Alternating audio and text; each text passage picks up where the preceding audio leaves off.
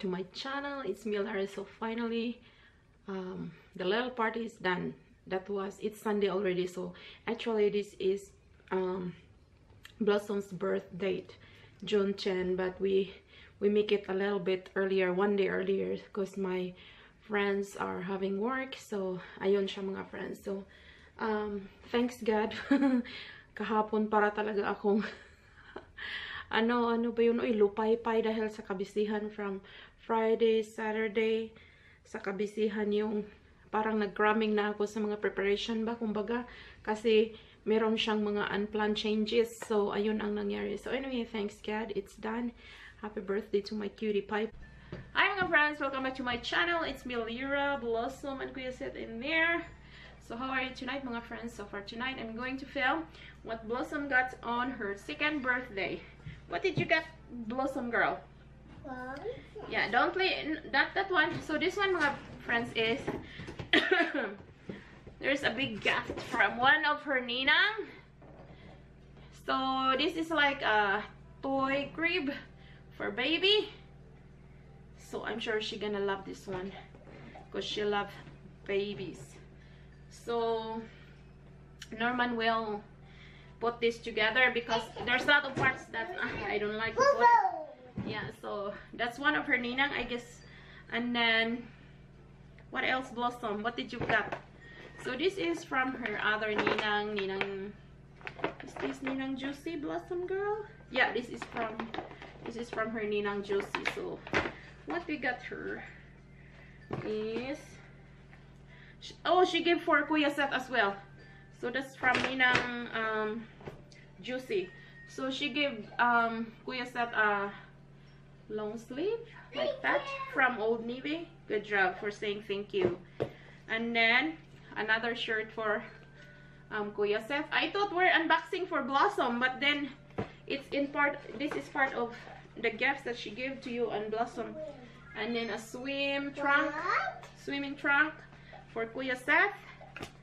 And then, so, here's what she gave for Blossom. So that's the box in there, by the paper bag. Num num num. So this is for Blossom. This is a cute um, dress. And then, what else, Blossom girl? Baka nakita yung mga kailokan ko dyan. And then another cute um, t-shirt. I t-shirt, no. Dress again from Ninang, from Ninang Juicy. Ninang Juicy is an Ilocana. She is from Baguio. So, my friends, it's either Visayan, Ilocana. It's either way. and there is one from Batangas, I guess. But she's in the Philippines right now. She's having her um, vacation with her husband. So, wala siya ngayon dito. Yung isang ninang niya. And then next is from Ninang um, Judith, the Ilongga girl. So, ayan yung yung binigay niya for Blossom.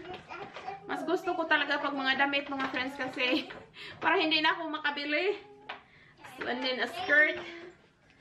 So, ayan. And then next, next is from Auntie or Tita Dorcelin. So, Tita Dorcelin is from Mindanao. So, she's a Visayan. She's a Visayan as well. And then, okay, bye. Put your belt there. So, this one is from Tita Dorsey.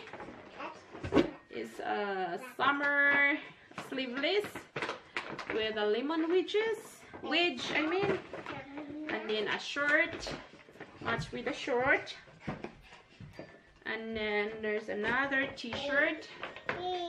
Thank you. Good girl. And then another short summer short. Good job. Because I'm glad you make it like um, big so that um, magamit pa siya. Kasi nga ano lang ang summer namin 3 months lang ang summer namin. So ayun. Buti na lang malaki para magamit pa din the next year. And then, next one is from Minang Judith. Another one from Ninang Judith. Oh, this time is for Kuya Seth na. Lagi din nilang binibilhan si Kuya Seth kasi siguro inisip nila baka magselos, magselos. But I'm glad Kuya Seth is not like that. Even if he saw some gifts, we, we just explain it that this time it's um, Blossom's birthday. So he understand. I'm so glad that Kuya Seth is very understanding. So, ayan yung short niya from Old Navy or what? No. It's, uh, it's called Place. Ang brand. So, ayan siya. Children's Place. So, maganda din ang brand na yan. Pero, mahal kaya ayaw kong pupunta dyan sa Children's Place na yan. And then, my red t-shirt si Kuya Seth. He can wear this on um, next month. The Canada Day, maybe. So, ayan yung mga na-receive namin na gifts for Blossom. And then, there's another one. I'm gonna try to open this too. Another toy. Um, ano ba yun, oy? Let me see. Play and learn. Yeah, para naman itong um, high chair. Laruan na high chair. So, I'm sure Blossom will be gonna have fun this one because he is, she is, ouch, two years old and then she loves to play like this kind of toys. So, ayan siya. Pakita ko siya mamaya. Maano na, makonect na lahat ito kasi ayo, ah, baka ito. Baka ito, ano na ito. ito yung baby. Ayaw kong buksan yung isa kasi yung nursery na crib kasi ano, ang daming small parts. Pero ito pwede na ata ito tayo also. At saka may music. Hello, press. Tapos, ilagay mo yung baby dyan. It's like a long chair para pakainin yung baby. Yeah, long chair nga siya. Kuya, remember this is Blossom? Let me take this out now. Oh, Blossom here. Oh, it's reversible. Reversible. The other side is when you feed a baby, and then the other one is when you're walking like a stroller. it's cute. Blossom will love this one. We're gonna put it together first. Daddy will help us this one. See? Maraming parts mga friends. Ayaw ko nang gagawa nito. Si Norman na. Sorry. And then, my card dito from her Ninang Christine. Ninang Christine is from Manila. So, meron siyang binigay na prepaid visa. So, ayan, $50. So, ibili ko ito sa um, ano ba yun, oy? Disney Store. Pupunta, kung makapunta kami doon sa malaking mall kasi walang Disney Store dito sa city namin. So, I'm gonna bring this one sa Disney Store. Well, hello! And then, may mga cards dito na cute. And then, what else? Ito, my other cards from Tita Yen Yen, I guess this one. And then, she gave $20. And then, so, ibili ko din ito ng um, kay Blossom. Ibili ko ito ng kung anong kailangan ni Blossom. So, ayan siya mga friends. So, $70 na ito lahat para kung anong bibilhin ko doon sa, excuse me, um, Disney Store. So, ayun lang siya mga friends. It was a very successful party yesterday. Thanks God. It's done. So, next is Kuya Seth. August 15. She, he will turn 4. Time is so fast mga friends. My babies are growing so quick. Every time I watch their picture, like, when I just deliver them, oh my gosh, it's like, wow, it's so quick now. They're running. There's, Blossom is starting to talk she still have a baby word baby talk like blah blah blah, ganon ganon. But she has her words every day like um like new words for her. So ayun siya. Baby you have a baby in there. Yeah gusto talaga niya itong mga yan oh kanya-kanya sila mga friends ganyan ka-easy sila. Wala akong problema sa kanila talaga kaya maka maka ano talaga ako maka makakilos dito sa bahay Hi mga friends! Welcome back to my channel. It's me again. So let's continue unboxing Blossom Gifts. So this is the second day after her birthday. So we're gonna bought some stuff for her. The money that they um they give us.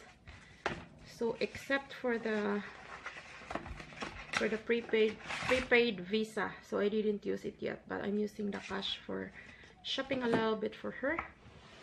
And then so that um Kuya said will not a little bit jealous so we're gonna buy her we're gonna buy him too as well from our money. Because Blossom has a lot of gifts really. So he never asked mga friends but I don't want him to jealous. He's not a jealous um baby but I just want to be like fair to to him. So in this bag mga friends in this big bag nilagay ko dito lahat yung pinamili namin for Blossom. So, let's start unboxing for what we have, what we get for her. So, this is a very cute um, mini skirt. So, it's so cute. So, andyan siya. And then, like a camo. Like a camo mini skirt. Second is the blue short. It's so cute. Ang cute-cute nila. And there's the the purple short. Kasi si Blossom, wala siyang masyadong mga pang summer pa mga friends. Kasi usually, I'm gonna let her wear Kuya Set's um, small ones. But now that it's summer, of course, I'm gonna put her like girly girly things. girly girly dresses, I mean. So, a dress or you can wear this as like a t-shirt but this is actually like a, a dress summer dress. So ayan siya. And then there's orange. So ayan siya. And then summer dress. And then this one is so cute. I love this one purple siya na parang jumper but it's a dress. And then what else? Another dress. So mabilis kasi pag dress dress lang kaysa ano short at saka t-shirt. So I mostly buy her uh, dresses. So ayan this is 24 size 24 year size or tutti. And then this one is like a long sleeve but it's not thick so she can still wear this even like springtime. So ayan siya and then a little bag. Little bag for her for um, toys. If you want to go somewhere to your friends or you're gonna visit somewhere and then you can bring a little toys for her or when you're going like visit I mean or when you're going to a park that you can bring small toys for her. So this bag is meant for um, toys. Cute. Ang dami siyang malagyan. Meron siyang compartment dito every part every end and then front side there is um, pocket in here three pockets in here. Yeah ang dami siyang malagyan. At saka konting yung konting mga toys lang na important sa kanya. Kumbaga, yun ang ginagawa ko. So, ayan siya. And then, a toy. So, tignan natin kung ano ito. Kinuha ko na yung box. I don't know what is this all about. Let's see. Oh! Para siyang um, laruan din ito mga friends. So, ganyan siya. Princess na ikaw na yung maglagay ng ulo nila, ng damit nila. Kailangan galing yung princess. So.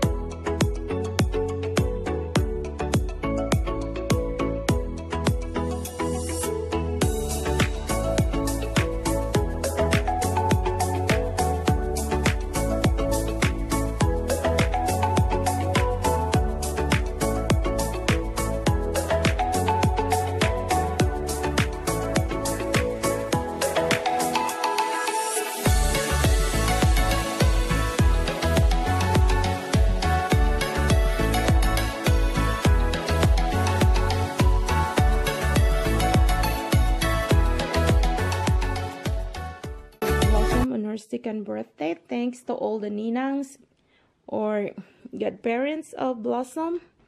So some of the cards are not here. I don't know where it is. They're playing already. What? And then so there's toys in there like the princess stuff. But inside in there there's like a magnet. And then there's a lot of small pieces in there. So this time I can't give it to Blossom because it's there's lot of lot of smalls in there that she might put it in her mouth so I will not give that. So there's a lot of clothes in there for her. That one there. It's a lot of cute there. Mga shorts um, summer dresses t-shirts. And then that one there with um, ah this one this one. This one is a gift from last year on her birthday but we just give it to her this time because she can play it. She can play it right now. She's having fun already.